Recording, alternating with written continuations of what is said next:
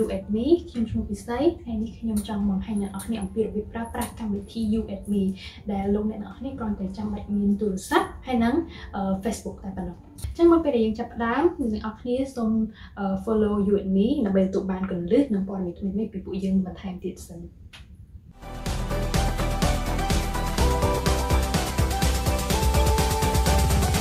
ដូច្នេះជាដំបូងអ្នកទាំងអស់គ្នាចូលទៅកាន់ Play Store ឬមួយក៏ App Store ហើយបន្ទាប់មកវាពាក្យថា you add me បន្ទាប់មកអ្នកទាំងអស់គ្នាចុច install ហើយរំចាំវា install ចប់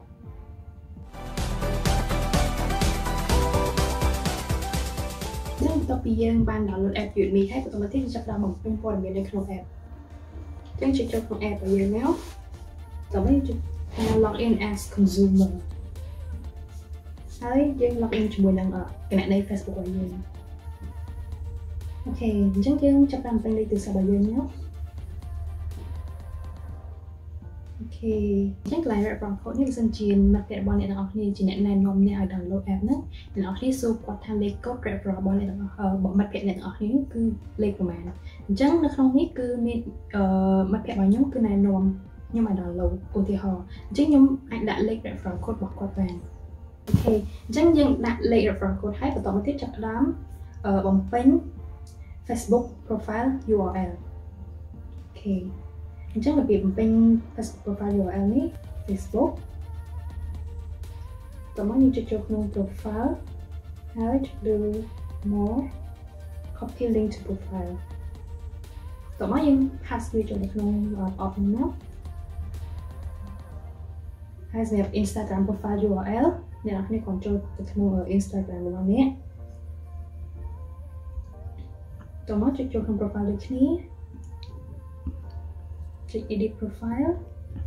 ហើយ copy username មកពីហើយតោះមកចូលក្នុង app នេះហើយផាក់វាចូលក្នុង box នេះ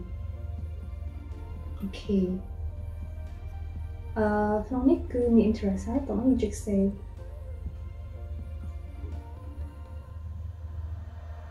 OK អញ្ចឹងតទៅទៀតយើងចុចចូលក្នុង profile របស់យើងម្ដងទៀតក្រោយពីយើង save ហើយ ដើម្បីមើលថាលេខទូរស័ព្ទរបស់យើងត្រូវឬក៏អត់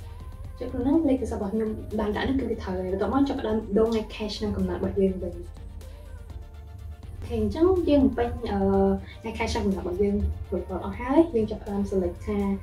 ភេទយើង male ឬមកក៏ female OK ចឹងក្នុងនេះយើងពិនិត្យមើលម្ដងទៀត Facebook profile URL យើងបំពេញហើយ Instagram ក៏បំពេញហើយគឺបានបំពេញព័ត៌មានរបស់យើងគឺបានបំពេញអស់ហើយអញ្ចឹងយើងចាប់ផ្ដើមចុច save OK អញ្ចឹងមានថា profile របស់យើងគឺបានបំពេញគ្រប់លក្ខខណ្ឌអស់ហើយអញ្ចឹង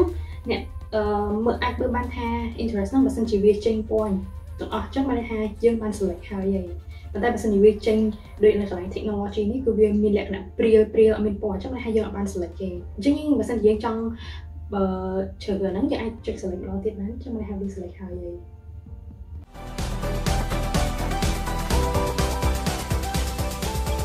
អញ្ចឹងក៏មកចាប់តាមចូលទៅក្នុង bank detail ហើយខ្លួននេះអ្នកនរគ្នាត្រូវបញ្ចូលលេខគណនី Wing របស់អ្នកនៅក្នុងហ្នឹងបើសិនជាអ្នកមានគណនី Wing ហើយអ្នកនរគ្នាអាចទៅសេបានអឺទៅសេលេខគណនី Wing នៅក្នុងហ្នឹងហើយបន្តមកចុចលើពាក្យ submit តែបើសិនជាអ្នកទាំងអស់គ្នាអត់ទាន់មានទេអ្នកទាំងអស់គ្នាធ្វើការ download អញ្ចឹងបើសិនជាអ្នកទាំងអស់គ្នាអត់ទាន់មានគណនី Wing ទេអ្នកឲ្យឃើញលើពាក្យឃើញនៅកន្លែងនេះគេដាក់ថា download Wing app ជាអ្នកទាំងអស់គ្នាគ្រាន់តែចុចលើហ្នឹងទៅវានាំអ្នកទាំងអស់គ្នាទៅកាន់ app Wing ហើយតមកអ្នកនរគ្នាចាប់ផ្ដើមចុចលើពី install ហើយរំចាំវា install ចប់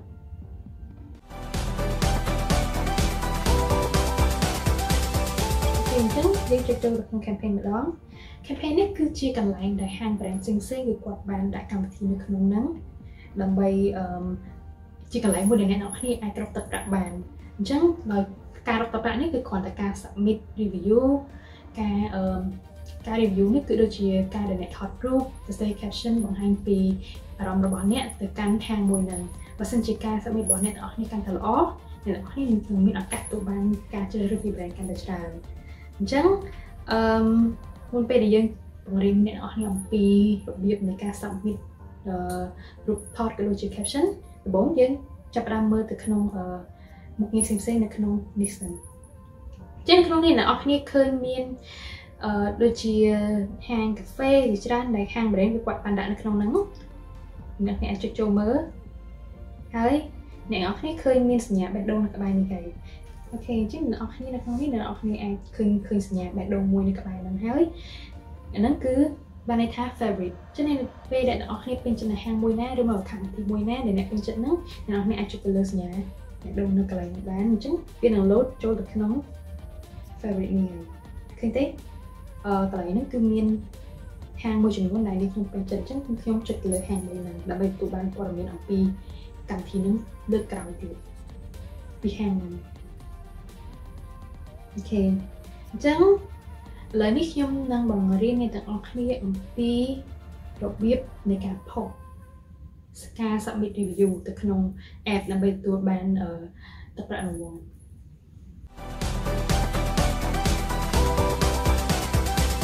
អញ្ចឹងចូលមកដល់វគ្គពិសេសបំផុតគឺរបៀបនៃការ submit ផលរបស់អ្នកចូលទៅក្នុង campaign របស់ brand នីមួយៗ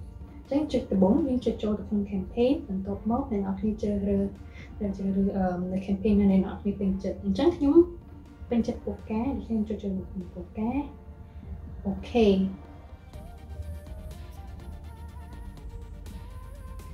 អូខេអញ្ចឹងនៅក្នុងនេះអ្នកនរគ្នាមើលអឺ ថាក្នុងនេះកម្មវិធីនេះគឺ Think Clip ឆ្នាំហើយនេះគឺជាអឺការណែនាំអំពីកម្មវិធីផ្សេងផ្សេងហើយទឹកប្រាក់នឹងទាំងអស់គ្នាទូបាននៅក្នុង campaign របស់ពូកានេះគឺ2ដុល្លារហើយមានរយៈពេលចាប់ពីថ្ងៃទី18ដល់ថ្ងៃទី30ដែលអ្នកនរគ្នាអាចលេង campaign នេះបានហើយ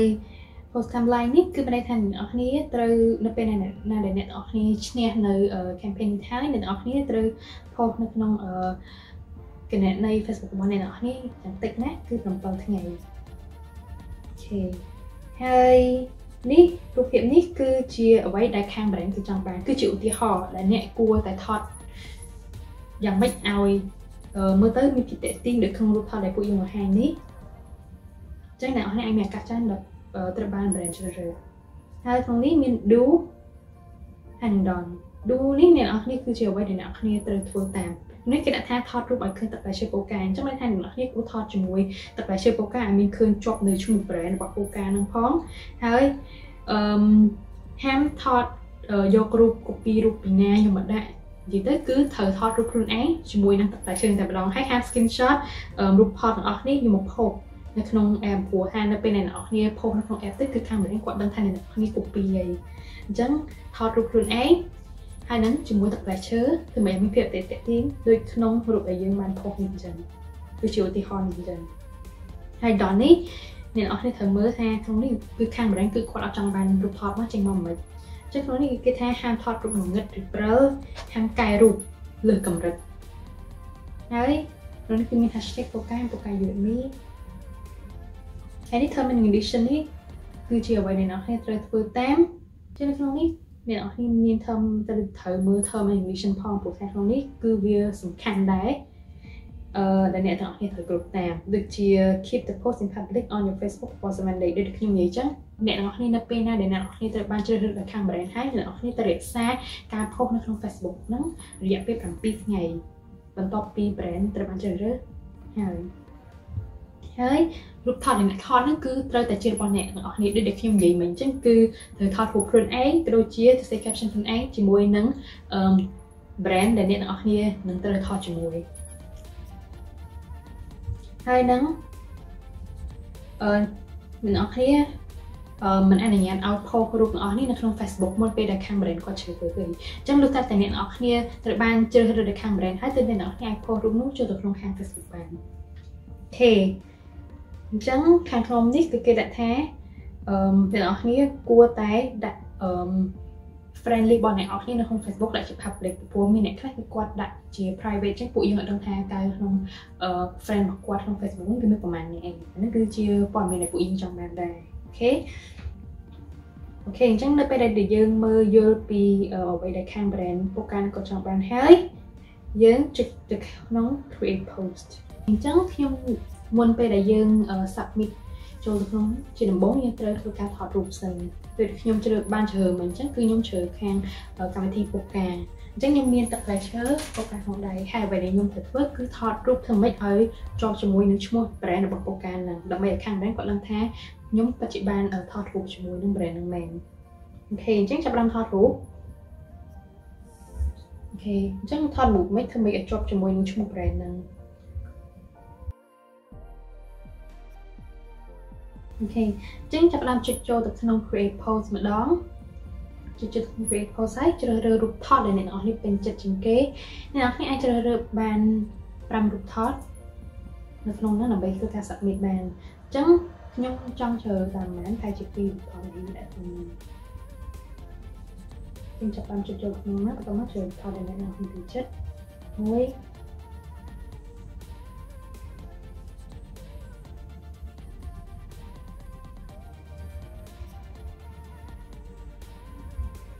មួយអូខេ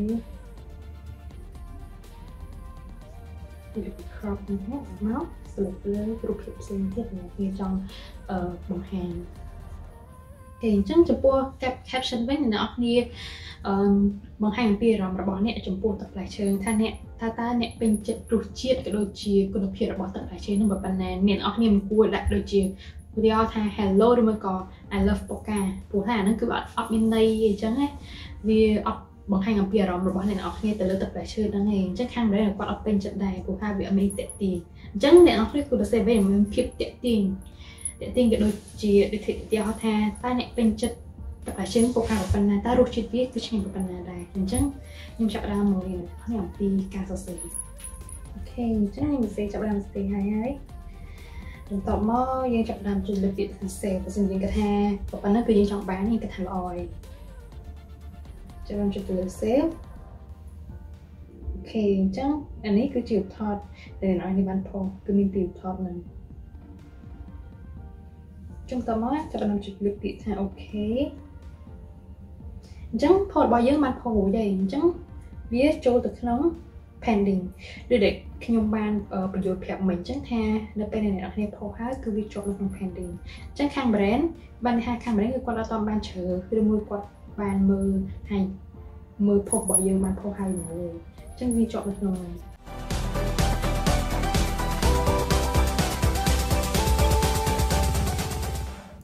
អូខេអញ្ចឹងឥឡូវនេះខ្ញុំនឹងបង្រៀនអ្នកទាំងអស់គ្នាអំពីរបៀប share post របស់អ្នកទាំងអស់គ្នាដែលត្រូវបានខាង brand គាត់ approve ហ្នឹងចូលទៅក្នុង Facebook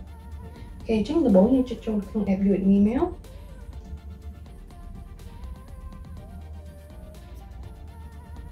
អូ ខេបន្តមកចុចចូលទៅក្នុង post ហើយចុចចូលទៅលើពាក្យថា approve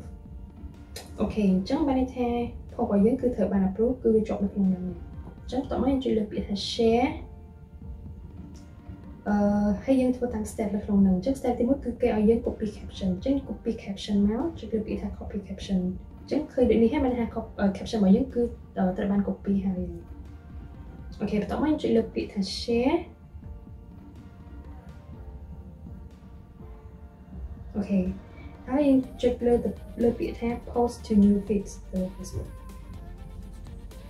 OK បន្ទាប់មកឃើញបែបនេះហើយយើង paste caption ដែលយើងបាន copy ហ្នឹងនៅក្នុងហ្នឹងមក OK ហើយត្រូវអ្នកនរគ្នាត្រូវចាំថាត្រូវដាក់ post របស់យើងជា public ព្រោះបើយើងអត់ដាក់ public ទេខាង brand គឺគាត់អត់ដឹងទេអញ្ចឹងដាក់ក្នុង public ហ្នឹងមកគេឃើញ public ហើយឃើញហើយតោះមកតោះមកយើងចុចពាក្យថា post OK ចឹងយើង post ហើយហើយចុចចូលក្នុង Facebook សិនមក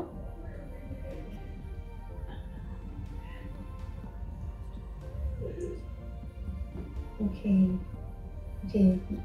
យើង copy link ចុចលើពាក្យថា copy link copy link ហើយតោះមកយើងចុចលើចូលទៅក្នុង app របស់យើងវិញហើយ paste link ដែលយើងបាន copy ហ្នឹងចូលមក app ហ្នឹងតោះមកចុចលើពាក្យថា submit ណាគឺបញ្ហាផលវិញគឺតែបាន submit ហើយប៉ុណ្ណឹងហ្នឹង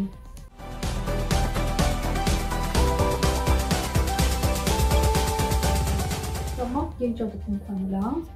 point នេះគឺចង់បង្ហាញអំពីតើអ្នកទាំងអស់គ្នាបានចូលទៅលេងនៅក្នុង